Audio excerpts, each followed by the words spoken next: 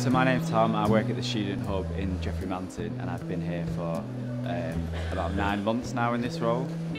My role at Manchester Met um, is basically being the first point of contact for all students in our faculty but across the university as well. Um, so it can be basic administrative support um, in terms of letters, for council tax, bank letters, that sort of thing, but also providing everyday pastoral support and referrals to the counselling, and health and wellbeing service. Um, I think the Student Hub's relationship with students is very relaxed and informal really.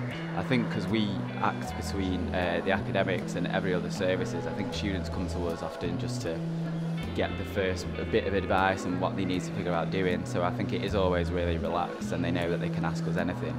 Even if we don't necessarily know the answer, we'll know exactly where to get it.